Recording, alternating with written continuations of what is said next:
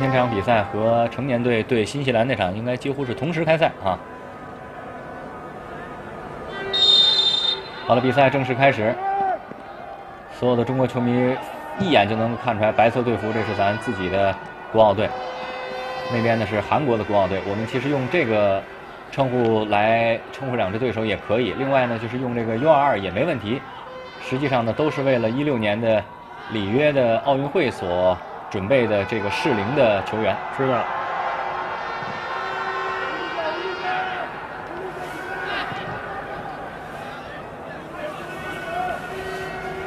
其实中国国奥队虽然刚才我们介绍人员比较齐整，但也有同样有问题，就是包括海外回来的球员，你怎么把这些各自实力都不错的运动员捏合成一个整体？嗯。这又是韩国队的主教练李光忠。我看这个韩国的主教练，甭管什么项目啊，很少笑，比较严肃啊。不知道是不是内热，但起码给你一个感觉是外冷。嗯。傅博，中国队的主教练。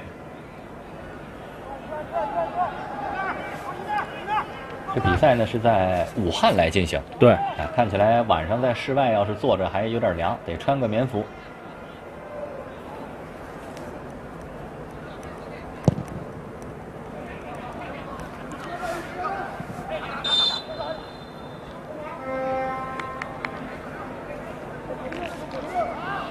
实这两支球队在两年前的阿联酋的 U 十九的亚青赛上有过交锋，当时中国队是零比一输给了韩韩国队。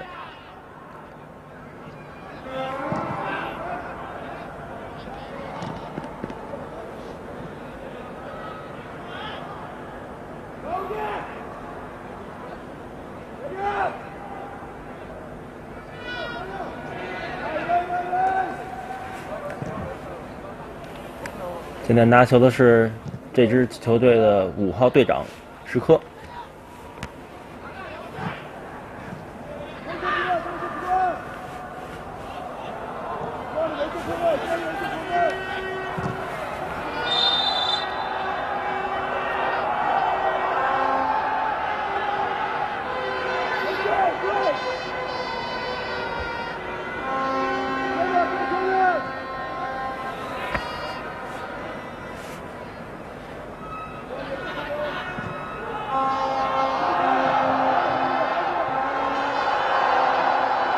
机会，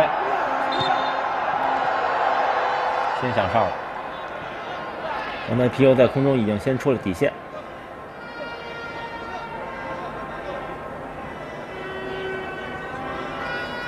刚才传中的是十一号吴兴涵，来自山东鲁能。其实国奥队的比赛啊，呃，咱们说年龄都不是很大。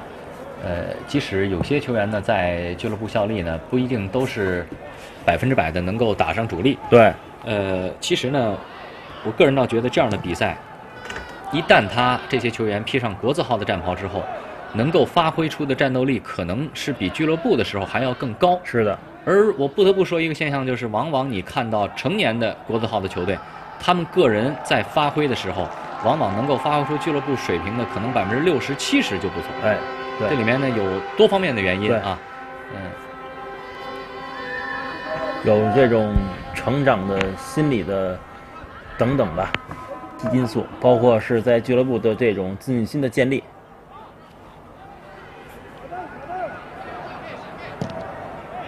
嗯，海洋队在后场控球时，中国队把防线往前压得很靠上，迫使海洋队出现了一次传球失误。宋翔的撞球二过一没有成功。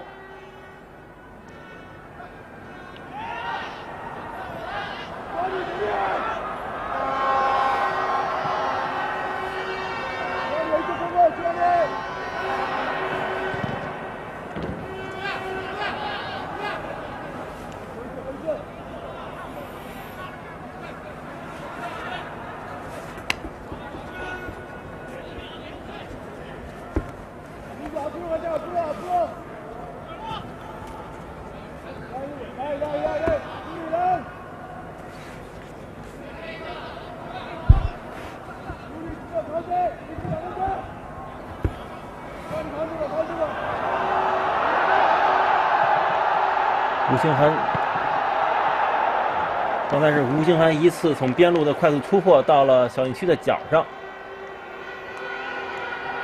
小角度的一脚劲射被对方的守门员扑出了底线。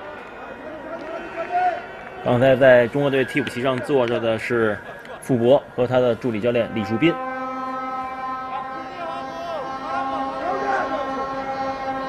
今天中队上来主攻的就是左边路内侧。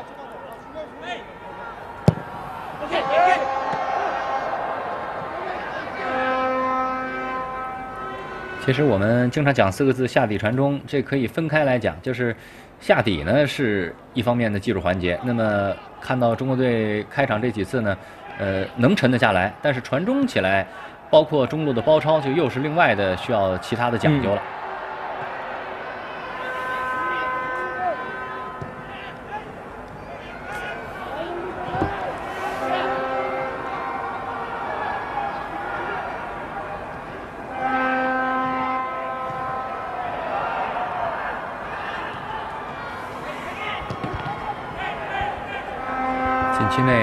员身上，嗯，这球裁判没有表示，比赛再继续。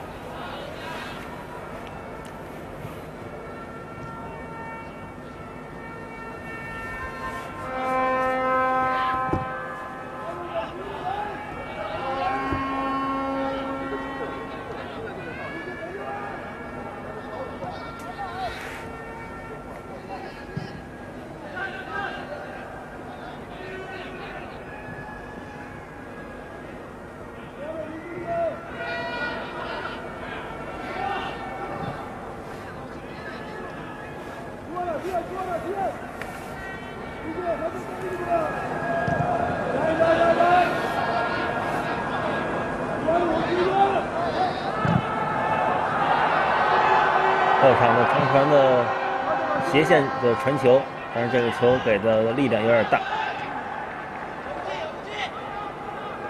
三号是倪浩伦没有追上这个球。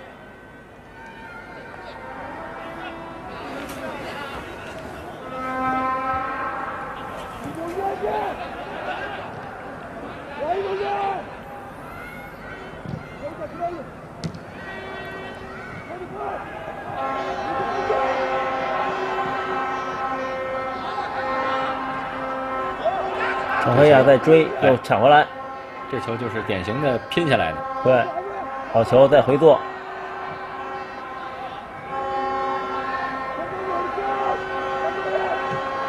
中国队通过快速的几人间的倒脚，把球从右路转移到了左路。这个球想法是好的，传一个身后，嗯，力量大了。十四号是冯刚。来自杭州绿城，能连续的倒脚，一是技术问题，另外一个我觉得关键是说对自己的能力有信心，嗯，这特重要。很多时候你看对方逼上来了，一慌，那这球就传不好。对。所有的中国球迷都知道一个词儿叫恐韩，嗯，所以面对韩国队的时候，您甭管这代球员怎么样，您未来的这些球员要是还慌的话，那这恐韩俩字儿就是。还得五年十年，还得有人说，嗯，哎，如果这代球员，就是现在我们看到的这个未来的这些球员都不怕了，那恐韩这个词儿就成为历史了。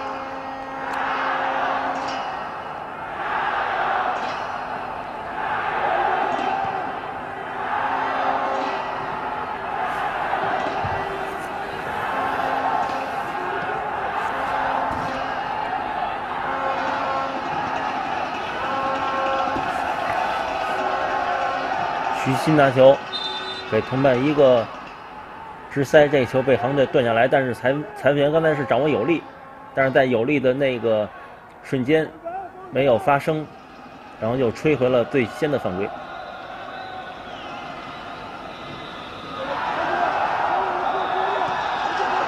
还是吴兴涵的下底斜回一个倒三角传球，这个球力量小了。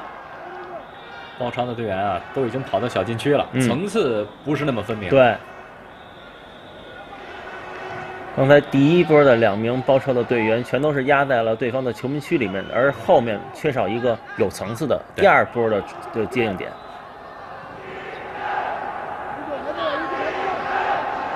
好球，意图是好的，但是做球的力量小了。哎，今天中国队很注意在前场丢球后的反抢。嗯十分钟其实踢的就不错，对，体现出了一种自信和一种进攻的欲望。，七号是来自西班牙马德里竞技的徐新，他现在是效力于马竞的 C 队。您说的这个 C 相当于就是他的第三梯队，对，嗯，一呃一队一一般都是 A 队，A 队然后啊呃我们知道，比如说巴萨的 B 队是相当强的，嗯，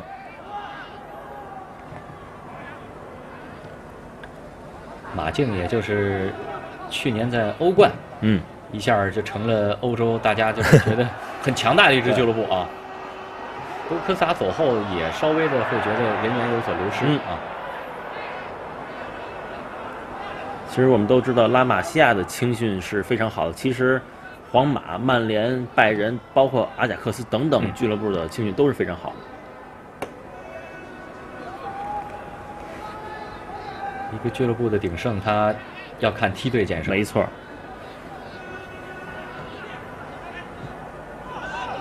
金字塔再高是离不开底座的这个支撑的。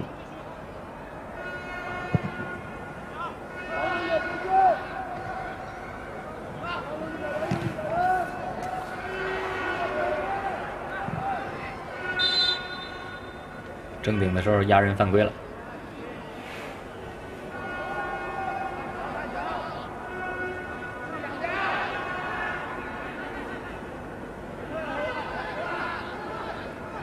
赛前翻了一下这个对于徐新的这种介绍，其实，在十月底西丙联赛第九轮，马竞 C 队客场战胜费尔南多的比赛当中，马竞 C 队是二比一战胜对手，徐新是助攻了队友打进第一个进球。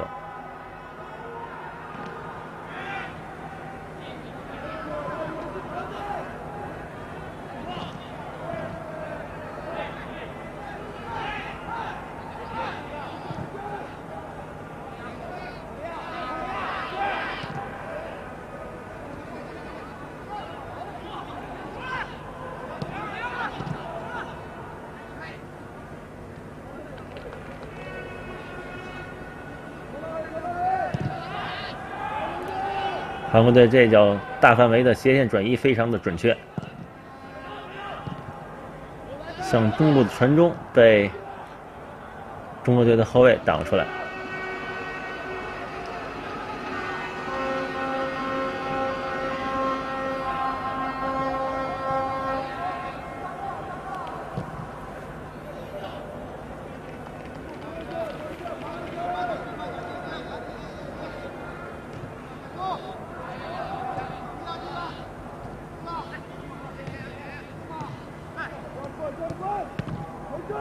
实，在局部的争争抢当中，中国队几名队员控球的能力其实也并不差。没错，嗯。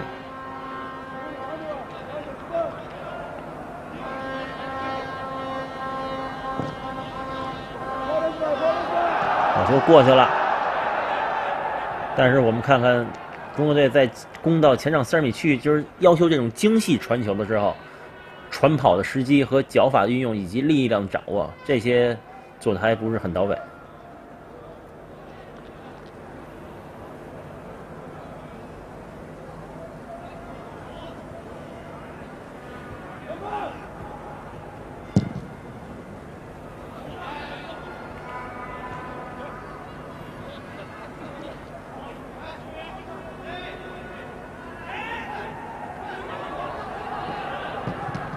哎呦，助理裁判举旗了，对，吹了个手球，应该是。其实这种反弹下来的球，很容易后防线上会造成自己的失误。没错。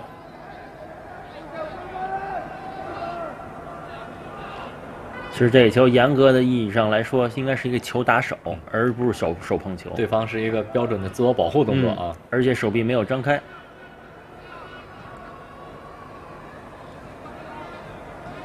中国队今天排出了一个四二三幺的阵型。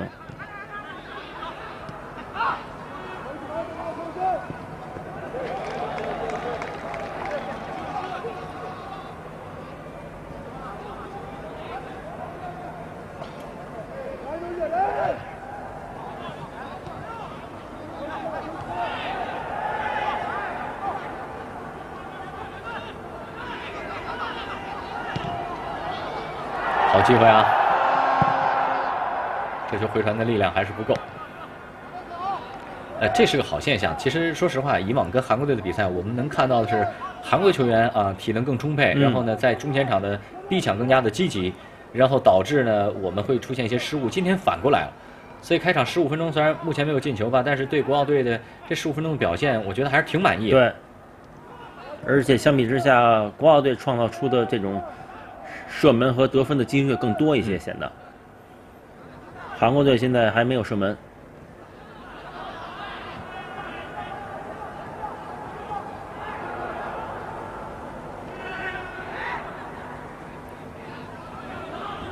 今天在中国队的守门员位置上是二十二号张一诺，两名中卫是王彤和石科的搭档，左后卫是三号米浩伦，右后卫是四号杨挺，两名后腰是八号廖立生和十四号冯刚。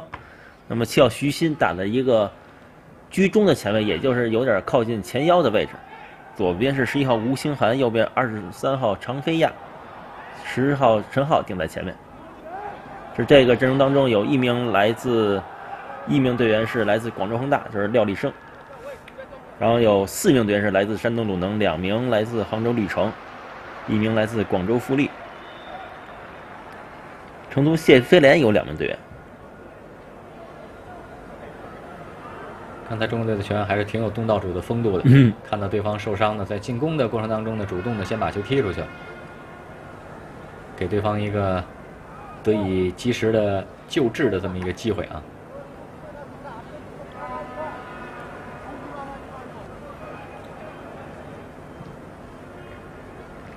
伸一手，这好像咱们街上也有这么一名字啊，卖红肠的叫刘一手啊。嗯，是叫刘一手吗？这个中国的语言博大精深啊。对，你要同字音的话，你就且琢磨了啊。嗯，对，重音不一样，有可能。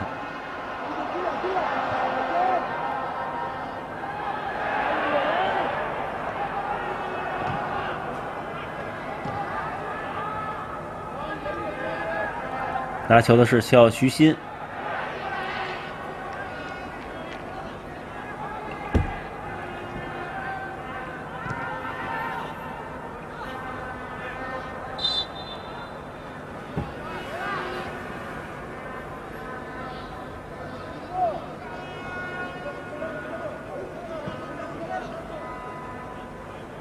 徐新挺积极的啊。嗯，已经多次出现在镜头当中是，而且他在场上的这种存在感很强。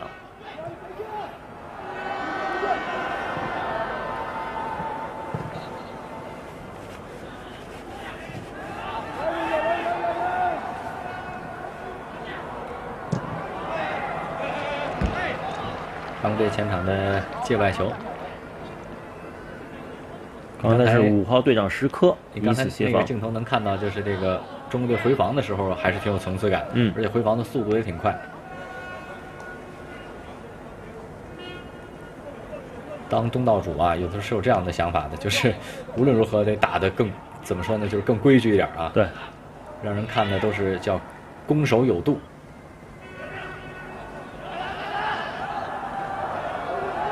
廖立生拿球，这球如果说第一时间能够在停球之前就观察到同伴的位置的话，可以更更早的处理。特别是在后腰的这个位置上的队员，一定要时时刻刻注意自己身体左右、前后各个方位的其他队友的情况。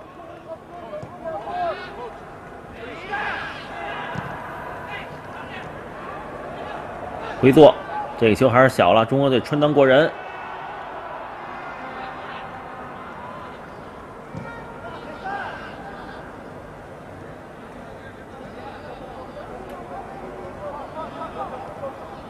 你看现在这个时间上半场是二十分钟，这可能就是一个时间上的分水岭了。嗯，现在中国队的三条线已经越来越回缩了啊！开场的时候的，呃，不能说开场时候攻的有多凶，但是开场时候的那种压迫性，现在已经渐渐的被韩国队给掌握。是的，过了十五分钟之后，韩国队的这种攻势慢慢的有了一些起色。嗯，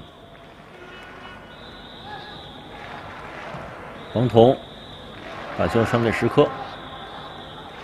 其实王彤在山东鲁能联赛效力期间，他更多的是出现在右边后卫的位置，而这名队员在原来 U 系列梯队的时候，他是场上的队长，当时是更多的是打在中前场的位置。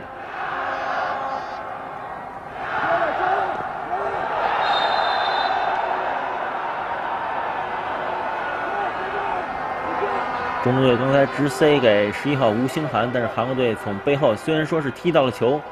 但是这个动作是在侧后方，动作还是比较具有危险性的，所以吹罚了这个犯规。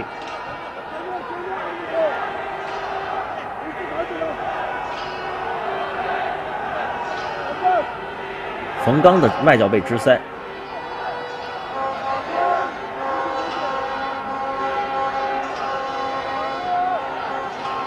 吴兴涵也是来自山东鲁能的一名队员，其实在这个位置更加具有竞争力的是。刘彬彬本赛季也是获得了中超的最佳新人，但是刘彬彬在这次集集训当中大腿内侧拉伤，所以说退出了本次比赛。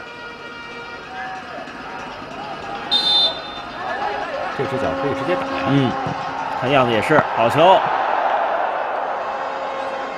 力量很大，速球速也很快，但是角度稍稍有一些正。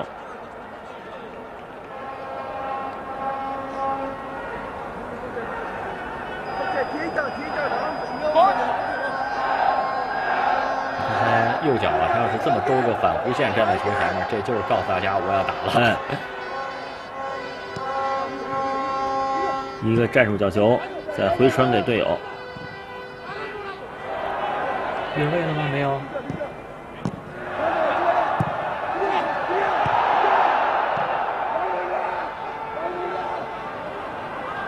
这球断的很关键啊。对，这球要是让他过去的话，就很危险。中国队中路有空当，但是韩国队这次直塞的力量也小了，对，而且传慢了。嗯，人家那个突前的球员伸着手，伸了半天你才传。哎呀，确实是咱们是在通过一个观众席上的远端机位啊，能够看到很全面的场景。嗯，呃，你在现场的时候，事实上你的视野是没有电视镜头那么宽广。是的，这球质量还不错。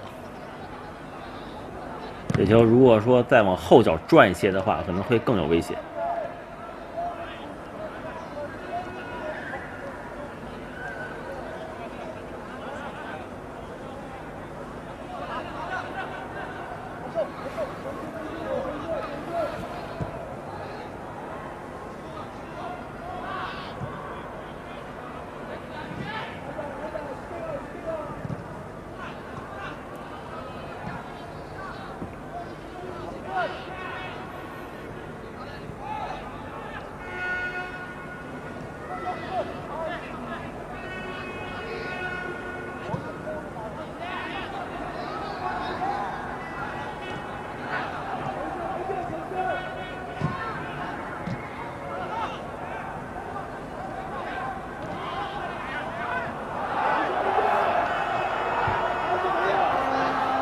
呃，这个球处理的很不聪明，虽然说造成了对方的犯规，但是这个球如果说第一时间给同伴回做的话，让正面面对进攻方向的队员去处理这这个球可能会更好一些。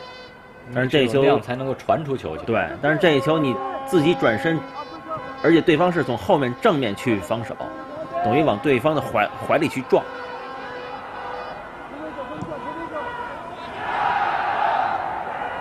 球后套。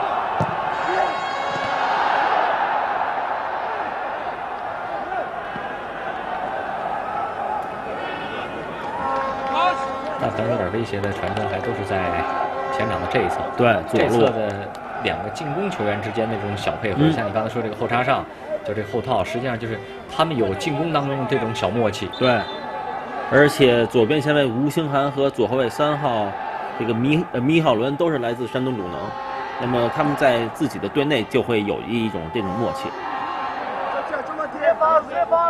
而且刚才传包抄的十号陈浩也是来自山东鲁能。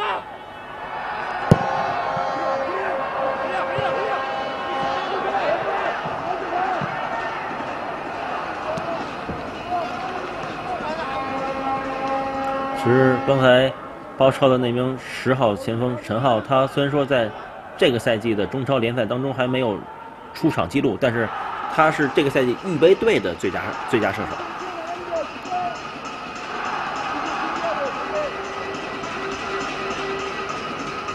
还是有一定能力的。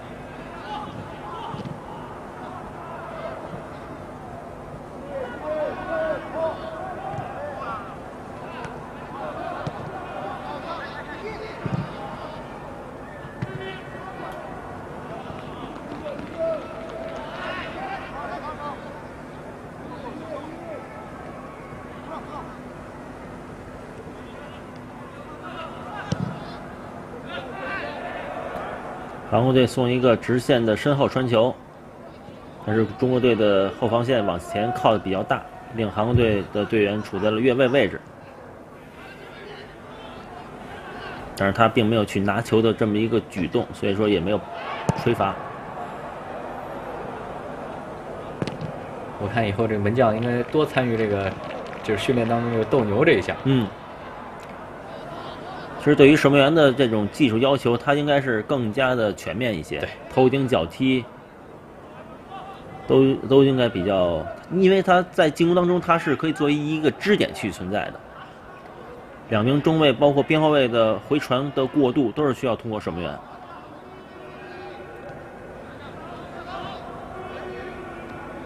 只是在门在门将这个位置上脚法出色的队员也是非常多的啊。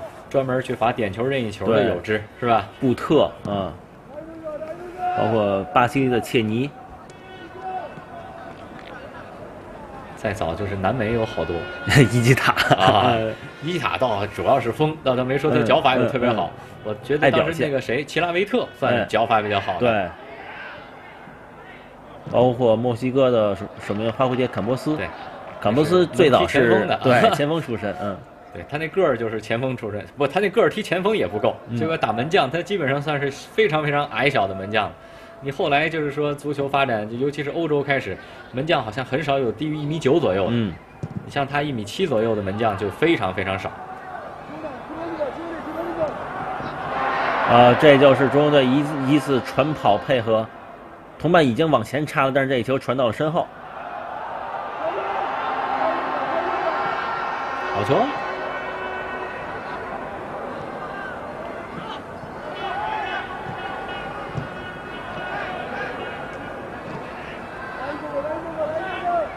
这球有点小了，给的力度，就是在这些技术的细节的把握上面，我们的队员还是有一些需要提高的地方。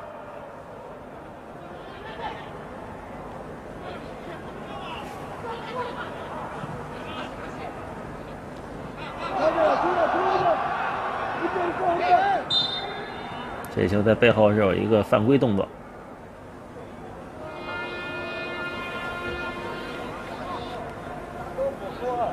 傅博也是在场边示意队员要稳一些，把心态放得更加平和一些。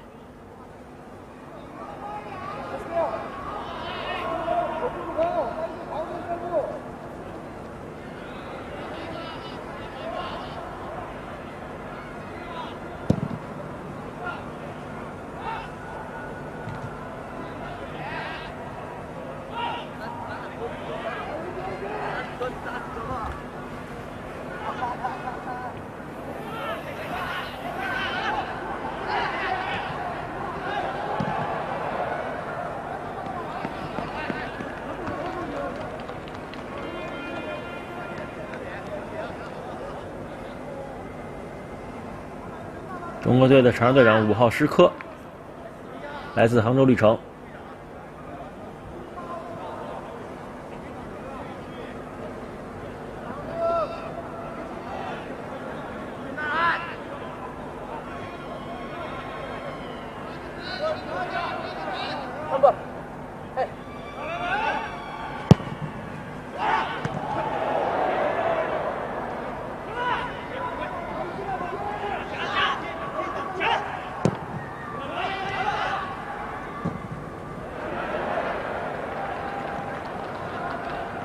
前场的界外球。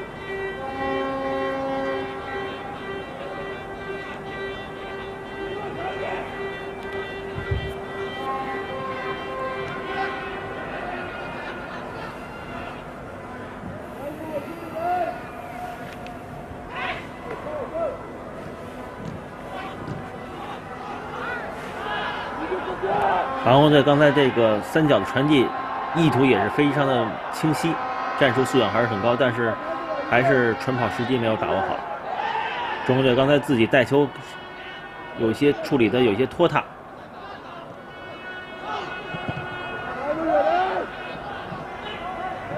我们的队员在处理球的时候，还是要尽量避免这种单兵作战，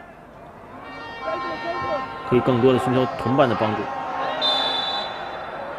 推了攻方的犯规。嗯，想法是对，就是用身体先护住这个球的行进线路啊。两个人都是在卡在卡身位对，就看谁能够抢先一步。其实我一直认为，我一个朋友说的这个话是对，足球是一个偏发育的运动。嗯，这个你身体素质的好与坏，在这里面其实是非常重要的。是的，那你足球比赛才讲究说叫合理的身体对抗，嗯，篮球比赛是说你有对抗这就犯规了。而且所有的技术动作都是要靠良好的身体素质去完成。嗯，当然前提是有一个好的脑子。嗨，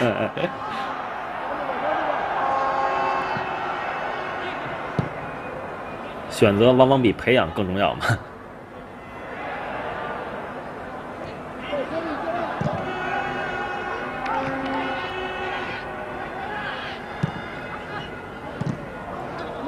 嗯，时刻的上抢很及时。常飞亚在控球，今天程飞亚的位置有些往中路靠的比较多。他在富力效力时候，他更多是边路的一匹快马。当然，在今天他的这个特点还没有完全的展现出来。不同的球队啊，你有的时候就是不同的队友嘛，你不太容易有相同的发挥。对，在俱乐部是一种位置和打法，但是到了其他的队，比如说国家队，他会是另外一种形态。常飞亚。这是他的特点。哦，这一球传的还是很刁的，不错，嗯，不错。而且这种他是在高速奔跑当中，这个脚步的节奏调的非常的隐蔽，有一个抠脚腕的动作。对，就这下。嗯，因为你不调整的话，这球就传飞了。对，这个球传在了后卫和守门员之间的这个区域，守门员出不来，后卫也很难处理。其实，在这个位置啊，就是说右边路的快马，他一般来讲是右脚球员，他好传中嘛。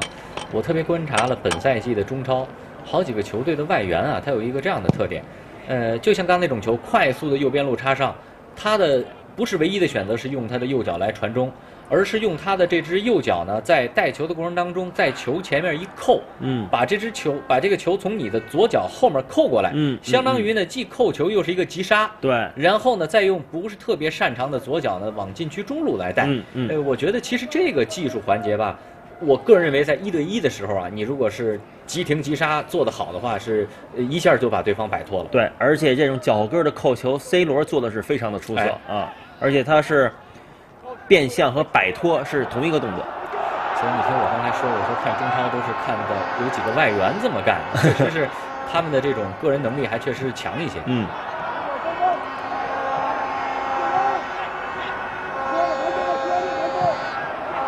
给到二扣，这个球距离第一距离比较远，第二这个球速并不是很快，给了对方守门员一个出击的时间。直线，这球啊，其实球员的判断也就或者是选择吧。如果刚这球传过去的话，是一个反越位，没错，后面就空了。对，我刚才特别观察了中路是有一个人拖在后面的，所以刚才最后那个队员往上逼这一下，我觉得可商榷。嗯，他刚才如果顺势后撤呢？刚才那个中国队队员往上逼，在边路虽然说是形成了二打一，但是给身后留出了一个空档。他这个二打一是一种什么呢？就是叫放弃后边这种类型，就相当于我就就此一搏了。你要真漏过去，那我没办法。是。但是这种中卫的上抢一定是要建立在自己出击之后，自己的位置还有同伴可以去再去协防的这么一个前提条件下。就说锋线上的球员不妨可以赌博，但是防守球员有这种赌博式的拼抢是不对。嗯。篮球比赛更多的是讲究这种绕前防守，但是足球比赛当中，绕前防守是需要建立在安全的前提之下的。彩单车过人。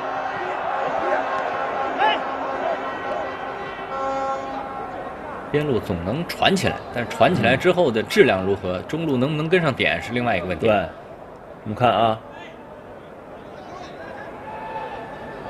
陈飞亚其实刚才在跑一半的时候，中间停顿了一下，而且中国队两两个边路的传中，比如说右路陈飞亚刚才那那那次传中，中路只有陈浩一个人，那么左边路左边前卫的这个包抄就显得非常重要。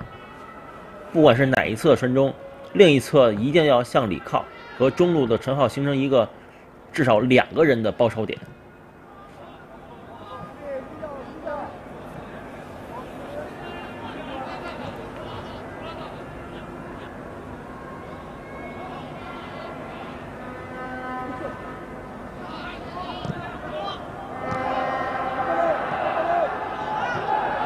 好球，中国队前场抢断，脚后跟。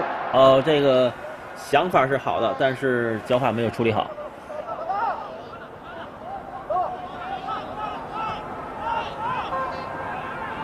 在局部，中国队也可以利用人数上的优势，在前场就展开抢断，直塞，力量还是小了。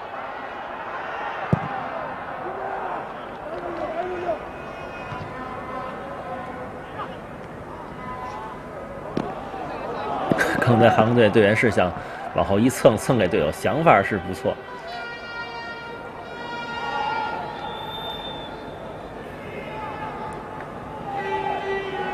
中国队的领队是郭炳炎。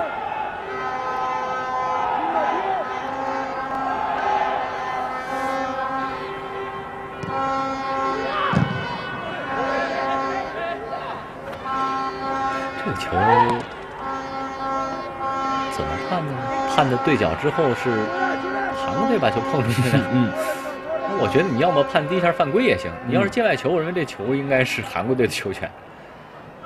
是在这种双方啪啪碰撞的电光火石之间，呃，可能裁判员就有一种主观去认为，就反正 是第一反应，然后裁判还得坚持自己这个反应啊。而且有时候如果主裁判看不清的话，他还需要助理裁判员的提示或者是协助。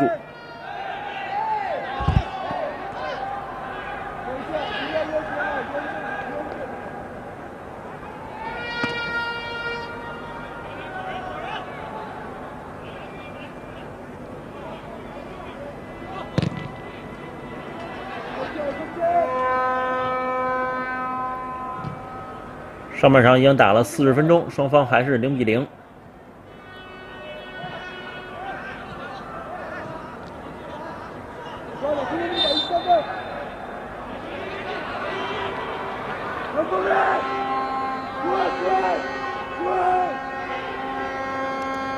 你看这种不带那个喷雾剂的裁判，嗯，就是会在现场多一些有可能快发定位球的机会啊。对。带喷雾剂的，我看刚才那下上就是往上那个逼你一下都不必了。嗯嗯，你反正裁判得过来划线啊。所以这个喷雾剂的运用吧，也是有利有弊。如果说攻方确实是需要对方去排人墙，然后自己可以直接选择射门的话，嗯那么这种喷雾剂是必须要去使呃可以去可以使用，就是更加的让这个规则更加的明晰。对，啊，要是战术性的快发，他就打乱了节奏。没错。我记得很早以前了，就是马拉多纳当时来华踢的他自己的第一场商业比赛，呃，他呃不那个进球没算啊，但是他就是有一脚在呃中场的这么一个快发，然后直接一个直塞球给同伴创造出了一个单刀的机会，嗯嗯那个球给我留下印象非常深刻，这就是一个球王的创造性。对，而且提到马拉马拉多纳快发任意球，其实还有一次非常典型的例子，就是九四年美国世界杯，嗯，阿根廷对阵尼日利亚，马拉多纳用手摁着，示意同伴要稳一些，但是这时突然一个直塞给了卡尼加一个助攻。然后事后国际足联非说 非说这么有灵性的球员是吃了药，你这，嗯嗯哎呀，中国队刚才获得一个角球，现在是二次进攻，但是廖立生的传中被对方挡下来，现在是韩国队的反击。中路有红当，但是韩国队也没有形成进攻上的人数优势。又吹回去了是吗？看看这球怎么判啊？是判了界外球还是刚才就刚才有一个无球的时候，我们就看一个韩国队员给倒地了。对，啊，应该是在向边路分球的时候，可能吹吹罚了中国队的犯规。那就是说把这球吹，我们再来看看吹回去，还不错，还给了中国队的后场的界外球。但是很奇怪，在这球即这个球要是出界就不应该响哨，对吗？？而且在即将出界还没出界的时候，已经响了两声短促的哨。要是我刚才听那个哨声，我为什么这么说呢？解说我就觉得他应该是补刚才那个哨补回去，把那个有力给吹回去，对对吧？那这就很奇怪。还是说这哨是那个观众席上吹的，就在这个现场一个话筒边上，所以我们也听不出来。但一般情况下，球还没有出界，除非是有犯规的发生，对，不会吹那个哨、呃对对对。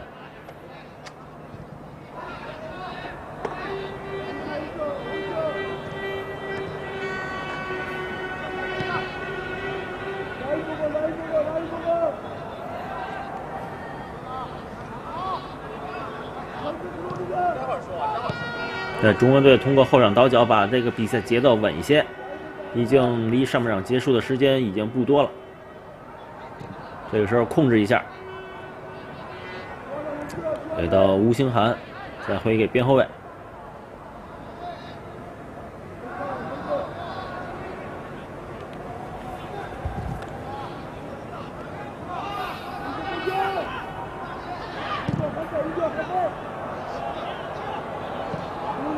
还是打吴兴汉这一边，倪浩伦在套边没有给内切，打了哦。这球是进了还是没进？我是没应该看，我觉得应该是没有进，应该是呃陈浩在向裁判示意是不是对方有手球哈？呃还是说是应该想要个角球？应该给了球门球。中国队员队员在向裁判示意是守门员用指尖拖了一下，但是这个镜头还是比较快，我们没有看清楚。再看，看不见，这个镜头也看不见。但是中国队在刚才还在倒脚当中，突然一个斜长传的转移，在左路找到了一个机会。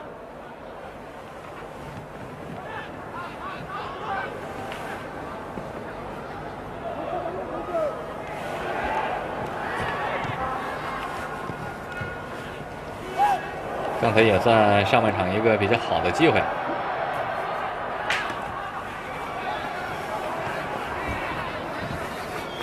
在那一刻，虽然不是同一边儿，但是我脑子里闪现的是“罗本”两个字儿。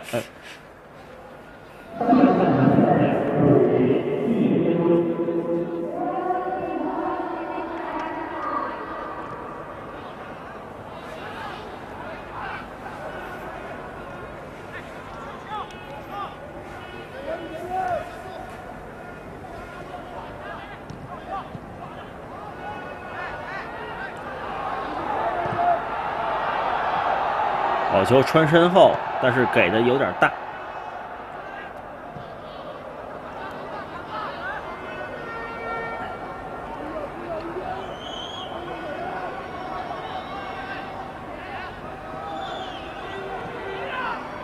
嗯两人边路加强对。在边路一定要创造出这种防守的人数优势。但是这球又被韩国队反抢回来了。犯规了确实犯规了。刚才那种加抢啊，两个人抢，再加上边线，相当于三个人抢一个。两人是前后堵截，然后中路那个人是去堵截他往中路传球的路线。但是刚才中国队这次防守的犯规非常的不聪明，对方是背身，上半场的最后时刻了，嗯，对方其实这个球可以全部都压上，因为我认为看刚才的补时，就这球你发出来之后，进攻完了应该也就吹停了，而且中国队可能要不犯规的话，这场比赛已可能就是已经进入中场休息都吹停啊了。对，所以说我们的队员应该加强这种比赛的合理性。你得跟那 NBA 似的，球员都知道那个场上计时器每一秒该怎么打？没错，没错，危险啊！你看，就是这一下，就这一下，对，你看咱们刚才就在这儿一直在敲这警钟啊，嗯就说这最后这时刻给人家一个定位球不合理，结果还就进球了。其实上半场你说中国队打的不好吗？不能说不好，甚至要比说场面上还要比韩国队好。但是你进入中场休息的时候呢，比分你是零比一落后。对，其实这就是足球。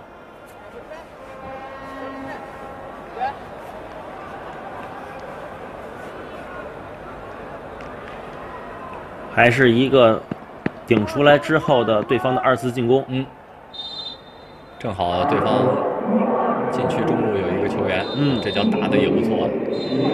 而且在后点是咱们两个队员在抢同一个点，嗯，你看两人撞一块儿了，这时候外围又缺少一个保护，下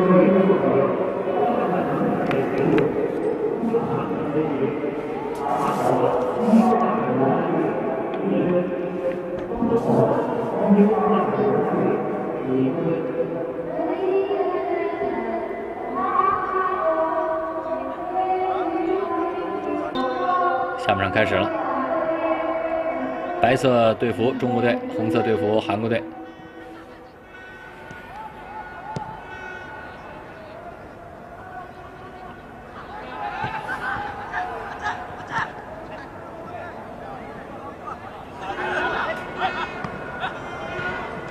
应该说在上半时的比赛当中，中国队在创造出了很多的优势的情况下，在最后几秒钟，由于防守方面的不冷静，给了对方一个任意球，也因此在比比分上零比一落后。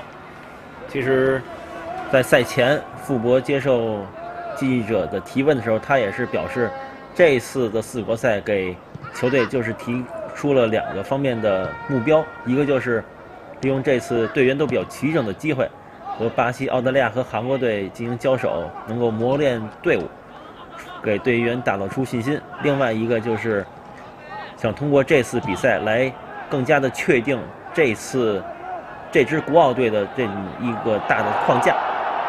那中国队从中路一个传身后的传球，但是最后一停没有停好。你刚才说的这个傅博教练员的这两句话，我听出两个背后的意思。嗯，第一个意思说要打造信心，那你得赢球吧？对，你不赢球，你就没什么信心可言了，对吧？第二个呢，就是你得给队员一个甜枣，你好好踢，好好踢。一六年我带你去，嗯是吧嗯，？你不好好踢，我一六年的这个主力阵容框架里面没有你。对，所以这个三军得用命啊。他也是要通过这一次比赛更好的、更全面的去考察队员，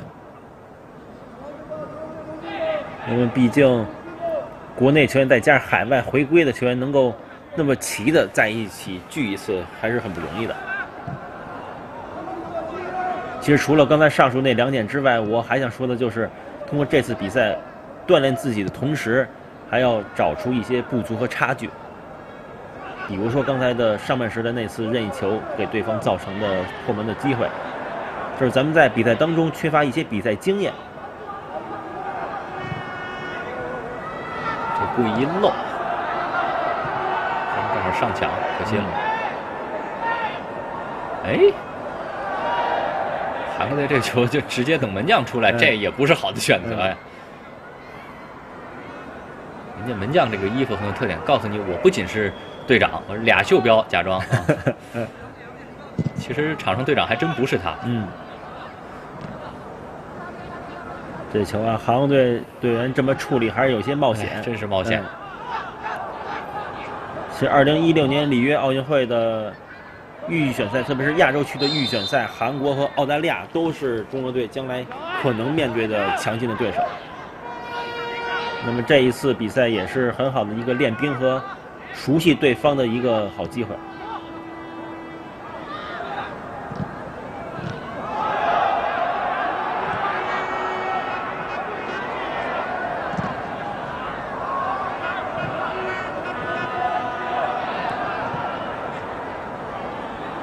中国队的拼抢还是很积极，特别是在进攻方面，丢球之后的反抢做的还是不错的。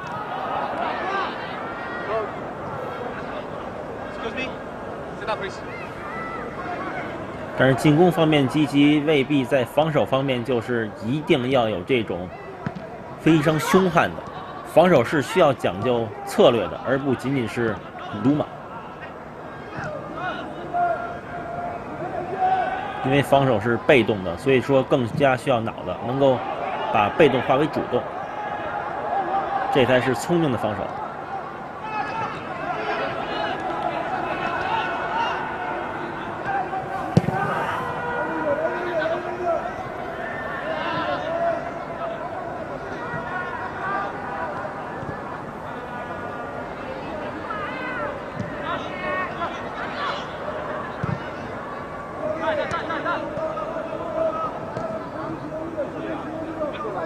兴涵，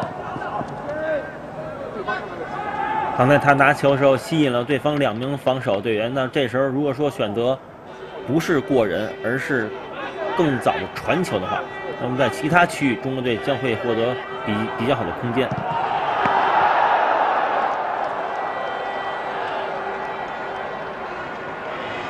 这应该是一次球门范围内的打门。嗯。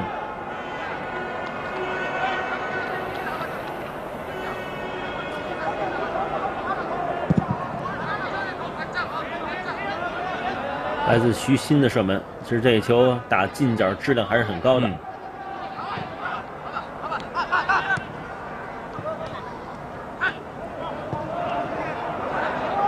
看中国队的这种传球的思路啊，他都是具备的，但是最后一传，往往显得还是差之毫厘。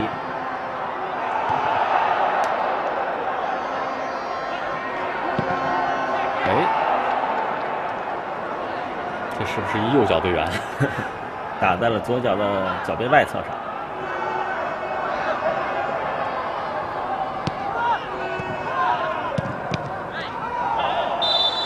足球你真说让做到左右开弓很难。嗯，呃，左右脚都可以控球，这个是一个国字号球员所必备的。但真说到射门和传中，肯定还是要用你那主力脚。是的，你举个例子，就 NBA 球员技术再好的，也没听说他左右手都投篮命中率那么高，是吧？他控球可以两只手，但是投篮一定也是就是其中的主力的那只手。对，在台球界有哦，沙利文这个左可以开弓啊，但是足球里面，呃，右脚的，比如右脚是主脚队员，他左脚的传球能力也还可以。但是如果说反过来啊，主脚是左脚队员，那他左脚的会具有非常鲜明的特点，但是右脚相对会更差一些。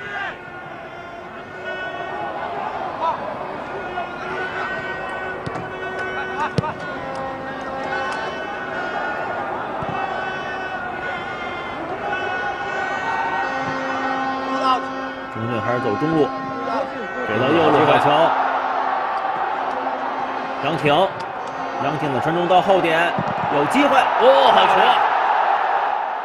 这个球好像打门，是不是碰到韩国队球员的腿，稍微的有点变向？反正门将也没反应过来。不管怎么样，比分是扳平了，这是一个好球。这是来自杨挺的助攻，吴兴涵的破门。我看这傅博这脸色没变好，还那么嗯面沉似水啊。嗯嗯。右 下角字幕也已经改过来了，一比一。我们来看看那个慢镜头啊，杨醒的传中到后点，小禁区角上，哎，这就是刚才咱们在上半时和中场评球时候所说的，一侧的传中，另一侧的边前卫一定要向中间靠。这球应该是打了防守队员一个小门，所以呢，门将也没有能够看到这个球，看到球的时候已经晚了。对，刘清涵扳平了比分，好球啊！而且吴兴涵到现在目前为止，他的表现还是非常的出色，嗯，比较抢眼。上半时几次传中、射门都是很有威胁。韩国队，你说他现在这换人了，我相信他不是，呃，就是看着你进完球了马上换的，没那么快。他应该是韩国队主教练看出一定的问题，想进行调整了。对，还但在你调整之前，哎中国队先进球了。对，这球其实进的恰到好处啊。有的时候你要是调整过来，可能这球就进不去。没错，好球，边路的连续的传递。看看这个球，就是在已经能够形成即将传中机会的时候，另外另外一侧没有提前去包抄。哇，个人技术还是不错，造了一个前场的定位球。最后扣这下，我相信是拿脚后跟给盘到自己 后边来了。这这一下把对方骗过了，只能用一个抱摔的动作。嗯，廖立生的技术还是非常的出色的。嗯虽然是远端，我确实没太看见，但是我认为一定是这样的动作才能把球那么拉过来。是中国队的个人能力和技术，包括身体素质，呃，并不输给韩国队，可能在某一个方面可能还要优于对手。但是我们怎么能够把每一个人更加合理的捏合在一起？这个是包括主教练傅博和其他的各支国字号球队需要去做的，就是一加一，十一个人加起来要大于十一才行。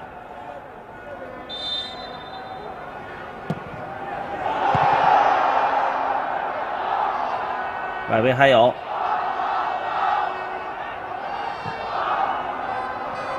给到米浩伦，呃，程飞亚换到了左路，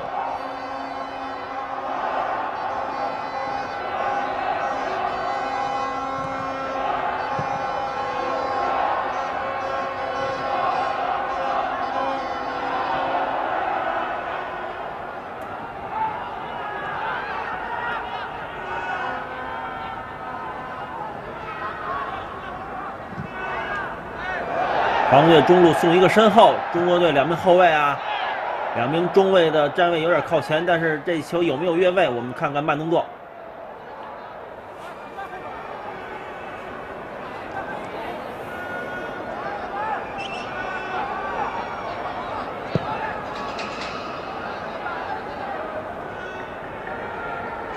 还是刚才杨挺的传中，吴兴涵的破门。这个角度就告诉你对门将为什么没反应，嗯看不见，对，整个真是被遮挡了，而且是打到他这个近角这边儿。而且对方队员是站在了近角的位置，那么对守那守门员可能会更加把注意力放在中路和远角。没错，他觉得近角已经让自己的后卫封住了，结果是从后卫的双腿之间过来的。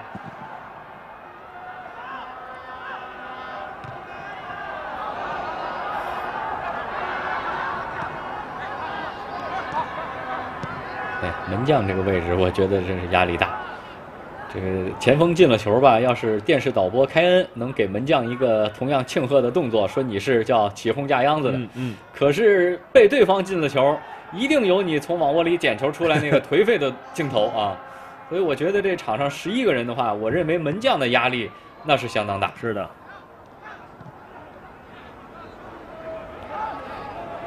毕竟是追到最后一道关卡。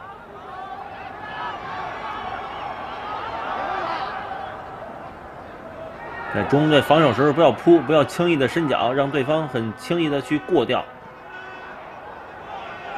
在这种防守阵地战的时候，要站好位置才是第一个选择，而不是盲目的去扑。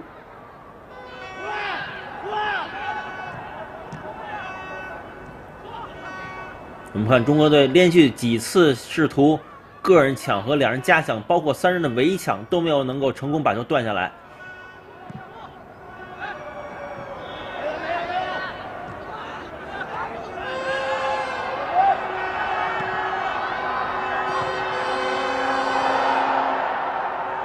米浩伦刚才这种停汤球很聪明，停球和过人是一个动作。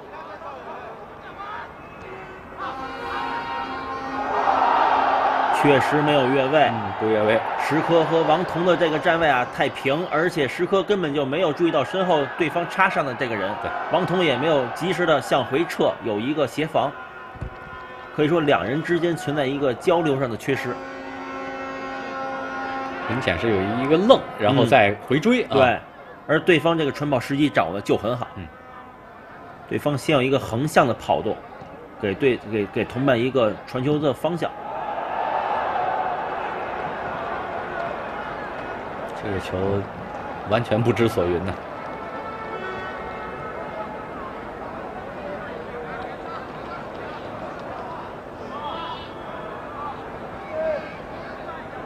所以说，别看我们把比分扳平了，但是我们的后部防线，包括在局部的防守方面，我们还是有很大的漏洞和隐患的。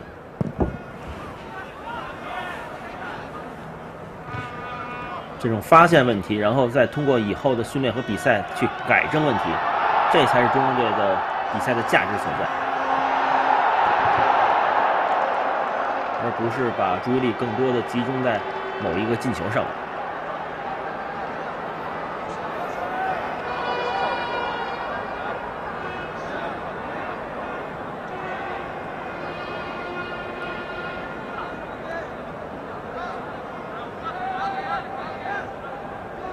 球应该是打在了球门的外侧立柱的外沿，有一个变线。嗯，也就是说，其实离进球就差呃三五公分。呃，三五公分可能还要多一些。球门立柱它的直径是十二公分。十二公分，嗯，十二公分。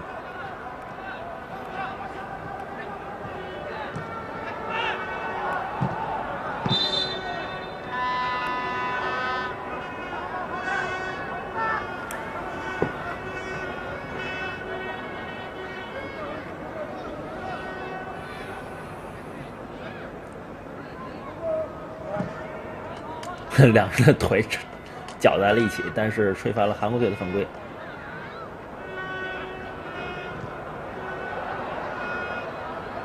射停啊！射停啊！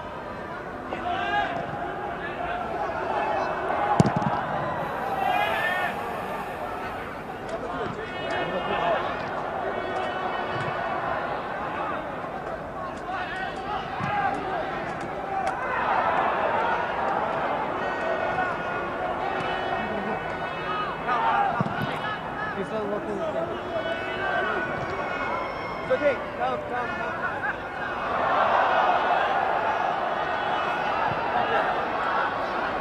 把球让过来，通过回做，好球再分边。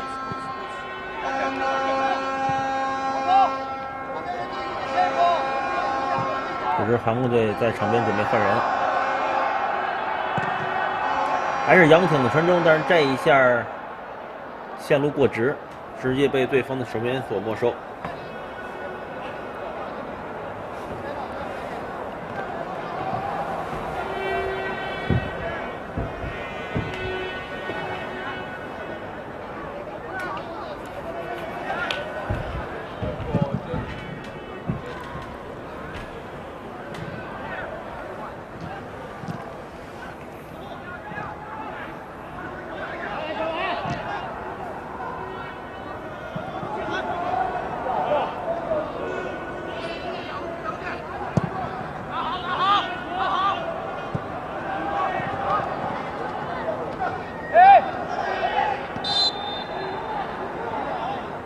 有点慢，嗯，韩国队又换人了。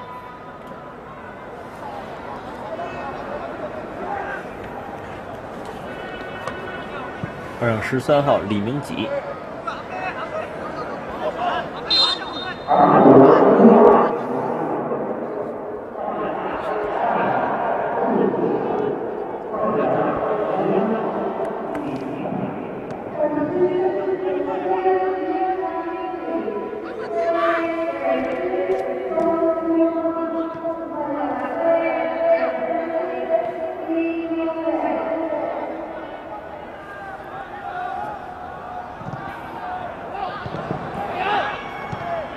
队现在他的进攻的套路很明显，就是从中场或者是侧翼直接长传打中国队两名中后卫的身后。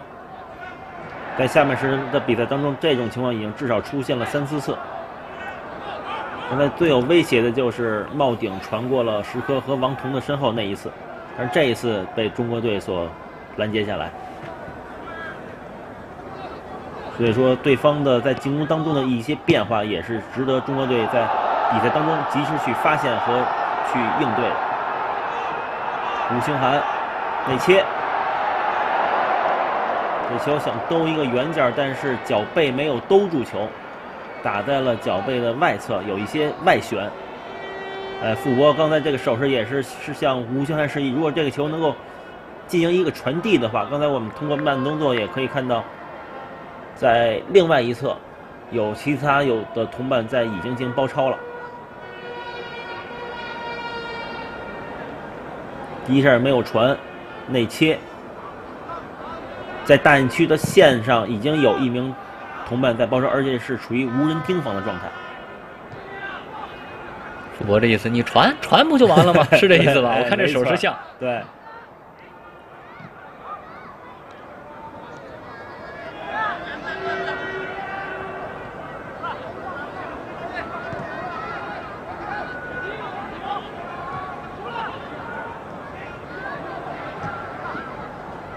在这个角度射门也是可以的，但是如果说更加合理和更加清楚的话，可能会更好。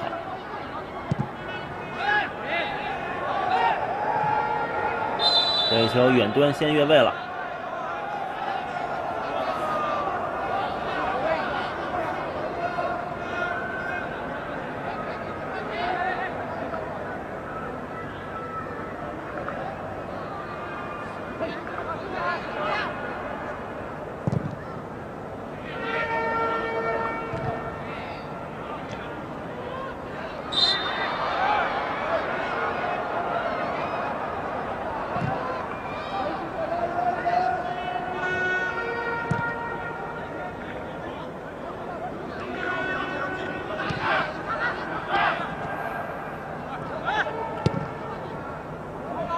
回传给门将。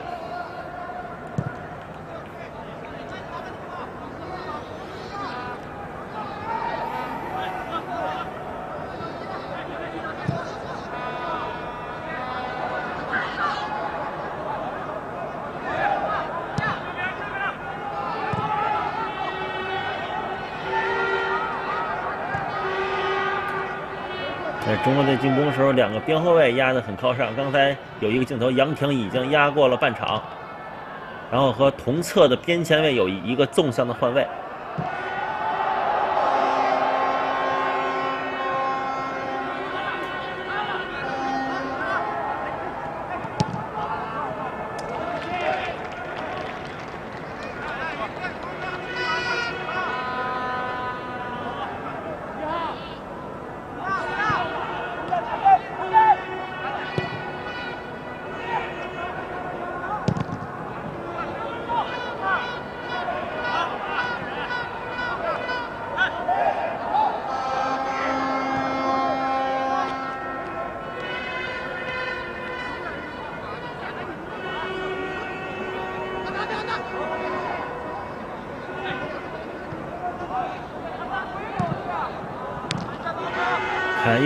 次准备直接传中国队的身后上抢一个盯人，进攻当中要想着防守，不能丢了球再去重新站位、重新找人，那这时候已经来不及了。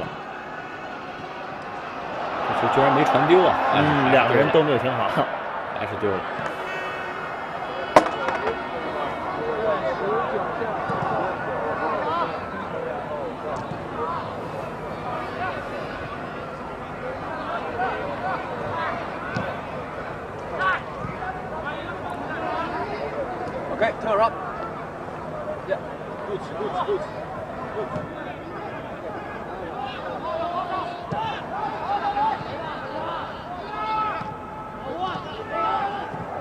好球，中国队中场抢断，发动快攻，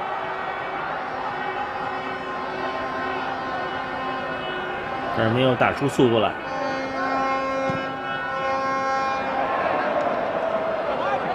刚才就是韩国队在边路的一次成功的防守。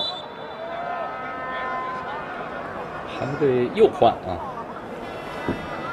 这已经是下半场换的第三个球员了。嗯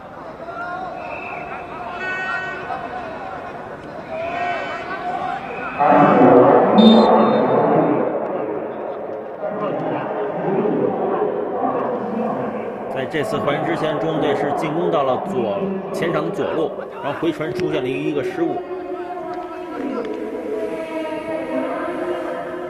那一次就是韩国队一次，虽然说韩国队员在，但是对的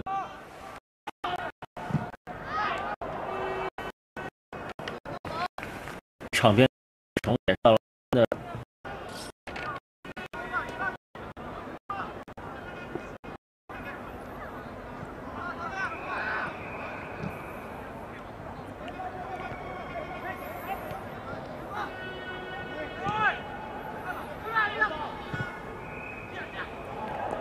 没有越位。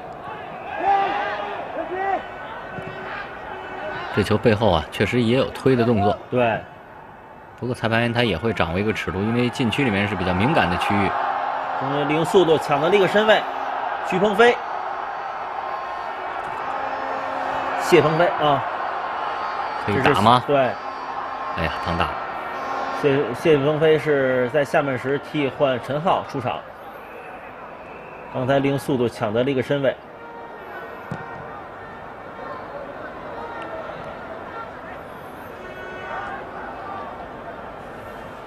但是之前中国队在罚罚球区内的那个防守动作还是要小心一些。如果说主裁判比较苛责的话，那么判一个点球，中国队也没有话说。没话说。嗯，就是你在罚球区内，在后场一定要在对方背身拿球的时候要小心，要要谨慎，尽量不要给对主裁判判罚的这个理由。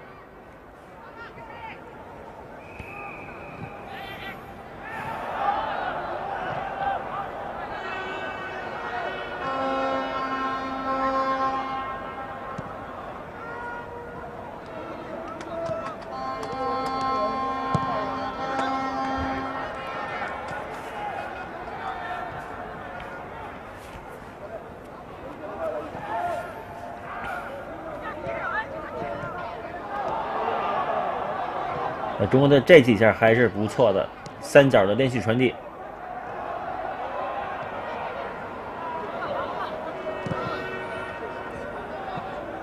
但是问题是，控制球在局部可以控制球，但是无法打穿对方局部的防守。那么这也需要另外一侧，甚至是中路其他队员的的这种接应，不能仅仅是他们三个人在圈。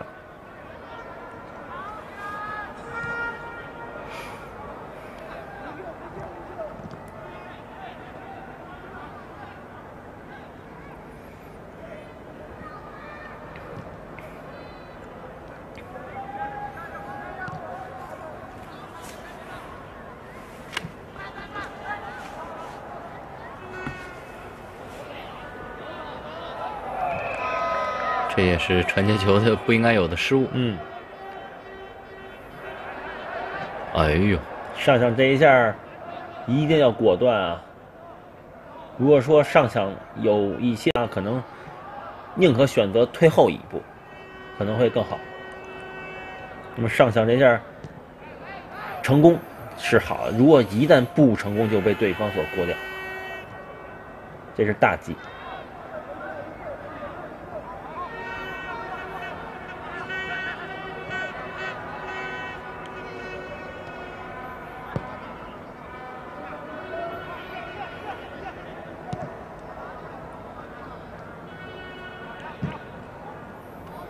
而这种斜线的长传转移，应该是先远端越位了。然后要换人了。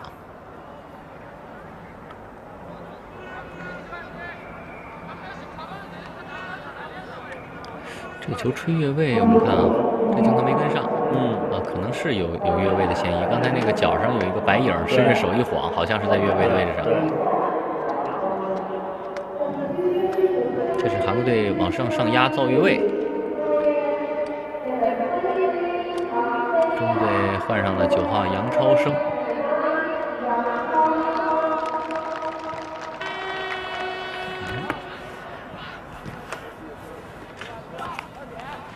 我知道你这“嗯”一声是觉得这字幕可能和这个、这个原来的这报名表有有有出入哈。是的，九号是杨超生。对，但是我们拿到的报名表上出场阵容是二十三号是常飞亚，啊，你是说那个换人的那个呃，被换下的，啊对。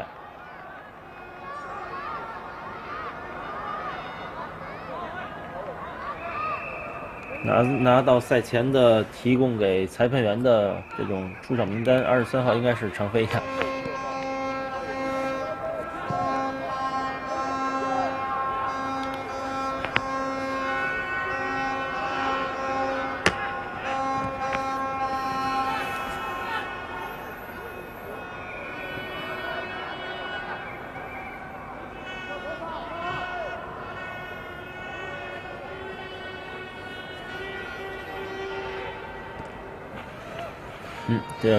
上场的杨超生，效力于辽宁宏运队，本赛季有十一次出场，打进了一个进球。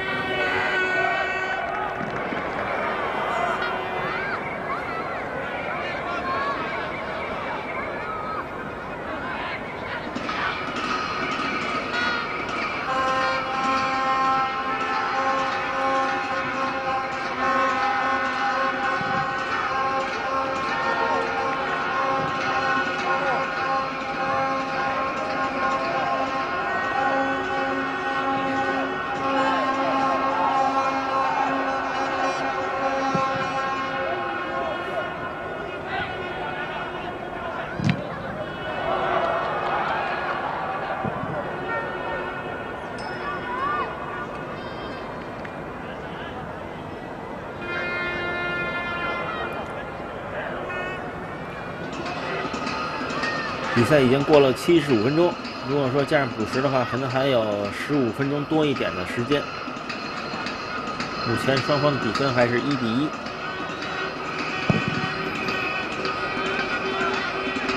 Number eight.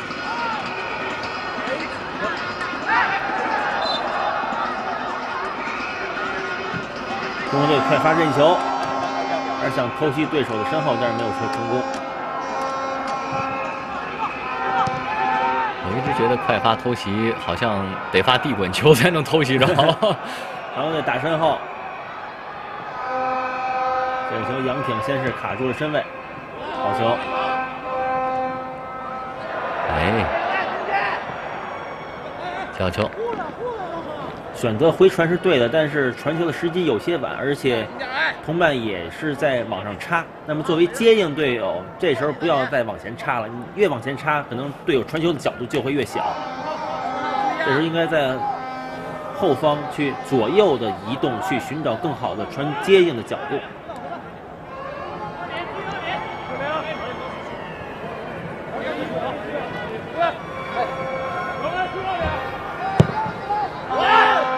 危险！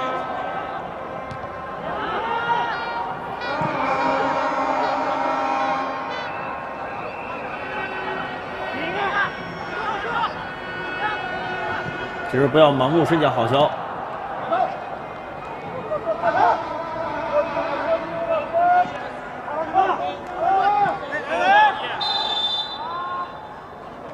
犯规了。应该又有换人吧？你说的对，中国队觉得一比一还得换呐，嗯，能赢得赢啊。啊，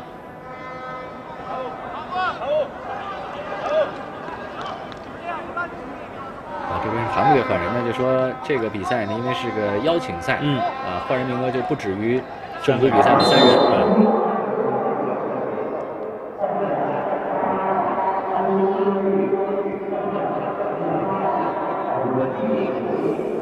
反正这个韩国这个名字啊，它翻过来这个中文呢，我觉得音都没问题。你像它这个深呢，你翻了一个深水埗的深啊，我总觉得这个一般咱们都翻这个就那个身啊，就是神去掉一个一补旁那个身，对吧？就是也有一个惯用的说法，还是说，当然了，也可能确实就不是这个字儿。但反正我今天拿到这名单，我看韩国队好多队员这名字吧，总觉得别扭。现在中国队的进攻队犯规了。但是你说都是都是翻译成身，呃，韩国队的十十四号叫申一手，嗯，他这个申就是刚才你说的那个申，是，他也可能是韩文用的那个字母和他是不是不一样？，对，这有可能。来看看啊嗯伸一手，而且中国按中国来说，比如比如说都姓张，那还有公张张和立岛张之分。嗯是嗯。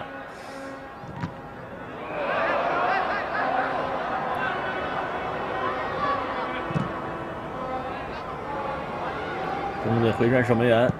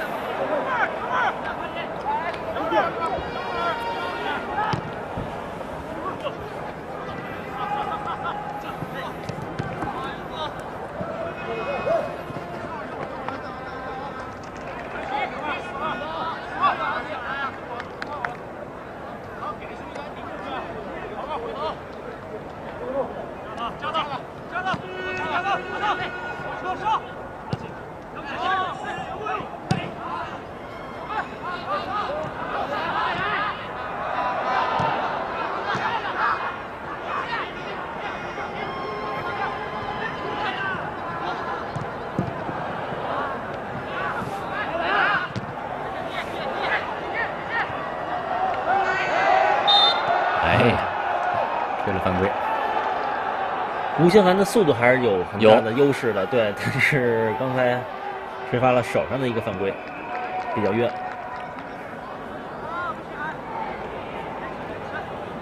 过去了，哎，就是这一下，拉倒了对方的队员。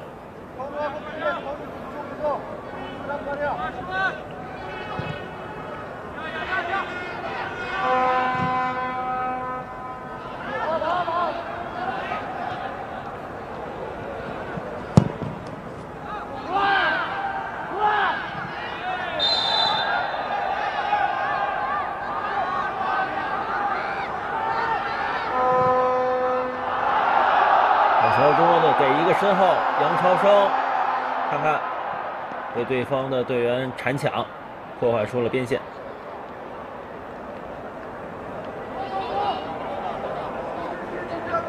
那双方在下半时的比赛当中都是更多的采取这种比较简单而且奏效的这种直长传，直接打对方的身后。两个队都有比较多的这样的战力。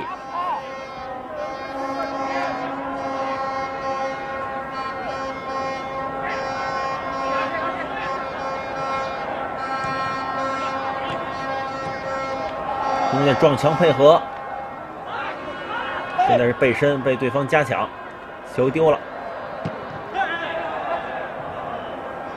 嗯，双方在拼脚的过程当中，中国队把球踢出了对方的底线。这是下面是上场的十七号谢鹏飞。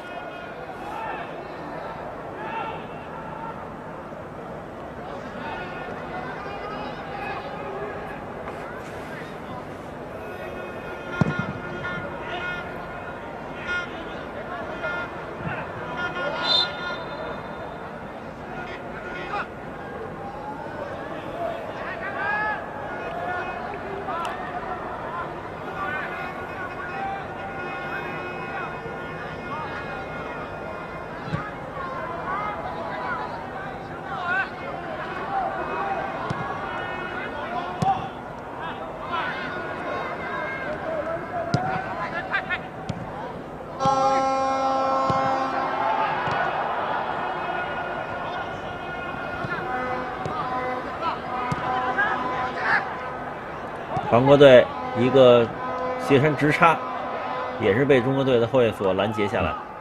这种球正好是关门啊。嗯，其实这种穿越的传球啊，你要不然就是传一个过顶，要不然呢，这种要是走下三路的话，就把球尽量个可以选择绕开对方的这种身体的的位置，选择一个弧线球，而不是仅仅往对方的身上传。你这不是把球传到收费站中央吗？是吧？你这不太容易过啊。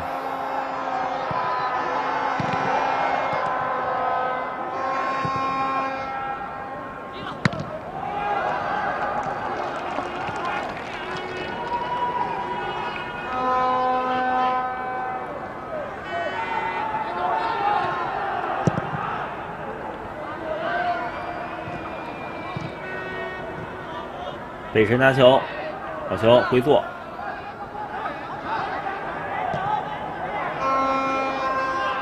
吴兴涵，啊，要是和同伴在这种局部想做撞墙配合时候，传到对同伴的身后。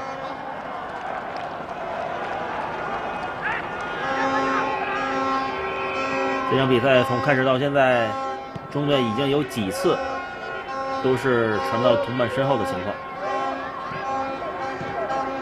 还是两人在传跑时机把握上的一个缺失。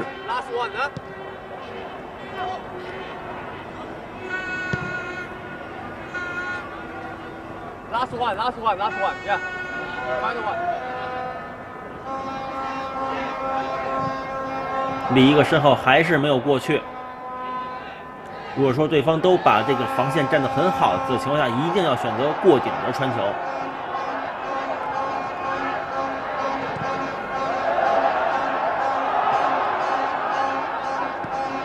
好的，好球，接回给到外围，其实这球给到就是禁区中路的这个后点的球员还是对，没错，前面一个进攻球员身边有五个以上的防守队员啊。谢鹏飞凌空的一脚扫射，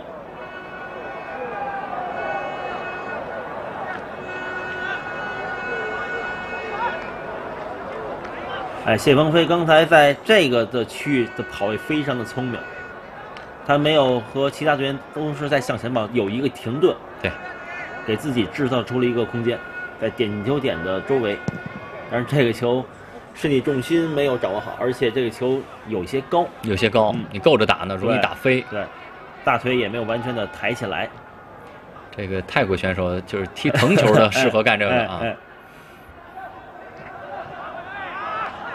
中国队试图从中路进行一个拦截，差一点把球断下来。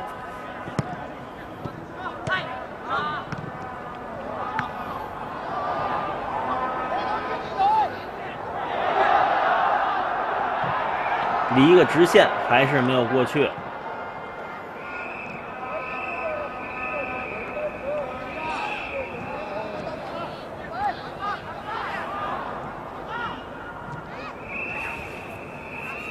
我们的队员在这种传球的意识的展现方面还是做的不错的，但是脚法的运用应该还有很大的提升的空间。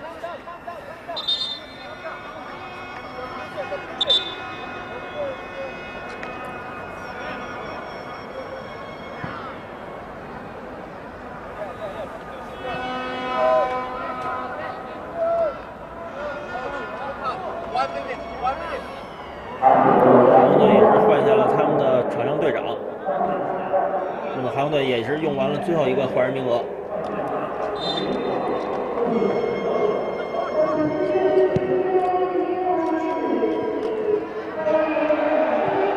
小心啊！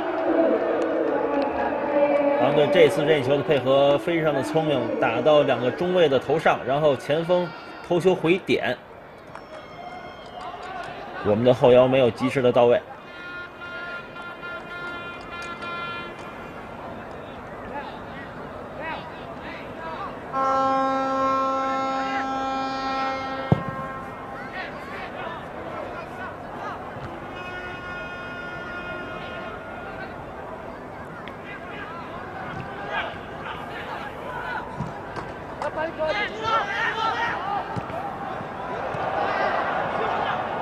不要扑，站住位置，好球！你是觉得不希望中国队再重蹈上半场最后时段的覆辙啊？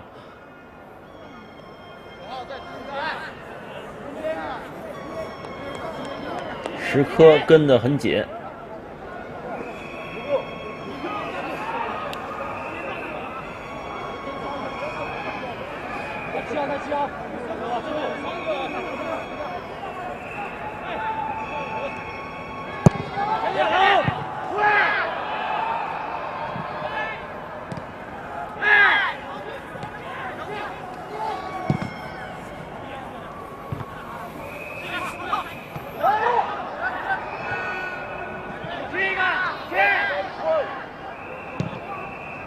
嗯，好像就这个球传的很有隐蔽性。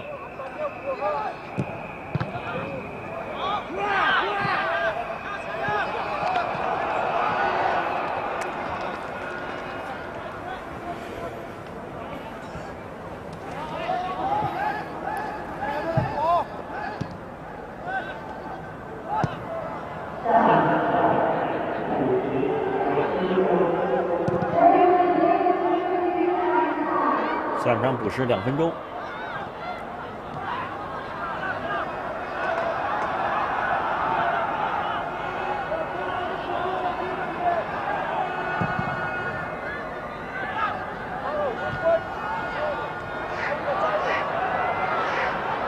中队注意身后，好球！这是左后卫米呃米浩伦及时的补防到了中路。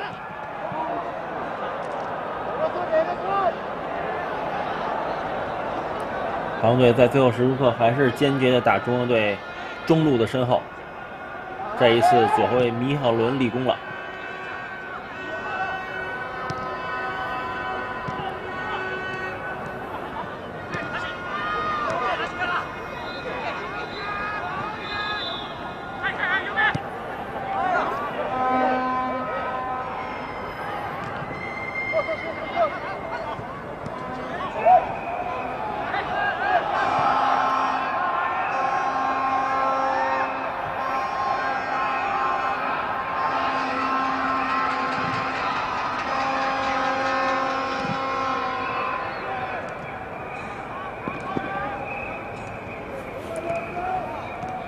队的界外球，全场比赛时间也差不多了，有些观众都已经提前离场了，那意思就是一比一啊，嗯他们都已经知道比分了。这时候万一中国队再 压哨进一个呢？哎哎，这球票就白买了，你最精彩的没看着啊！球还有上半时韩国队在最后几秒钟的时间打进了一个进球，看中国队在下半时怎么样？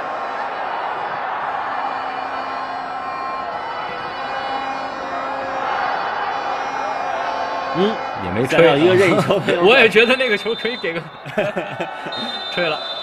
好了，全场比赛结束。那么这场比赛呢，双方是一比一握手言和。感谢董武志带来的精彩评论，也感谢朋友们的收看，再会。再见。